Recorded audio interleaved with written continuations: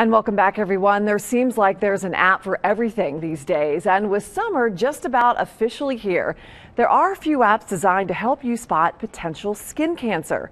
Jackie Couture explains how they work and puts a popular app to the test since they're going to the pools and the beaches um, and they notice things that they've never noticed before. Yeah, this is a very busy time of the year for us. But before you even get to Dr. Matthew Bakos' office, there are apps out there designed to help you spot problems. There it is. This app is called Dr. Mole. And then you just tap the screen anywhere. It tells me my mole looks good, but when Dr. Bakos takes a look, he has some real concerns. Um, if you look at the borders, you have notches in your borders. Mm-hmm. Um, and so, you know, they said that your borders are fairly uh, smooth, but you know that there's some irregularness to it. It didn't pick up on the color disparity either. Medium, dark, light, and even lighter right there. Mm-hmm. So you have four different shades of brown within one mole. He says to be safe, I should have it removed.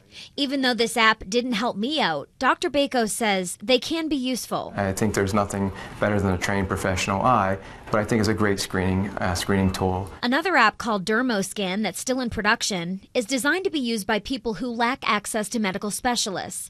This technology, which uses a special attached magnifying lens called a dermoscope, is said to be 85% accurate. You know, there's a lot of underserved areas, and just in the United States even.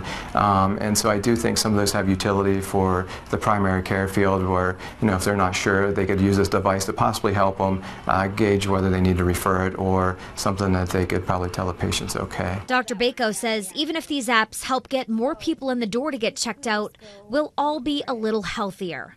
I know I will. In Beavercreek, I'm Jackie Couture reporting.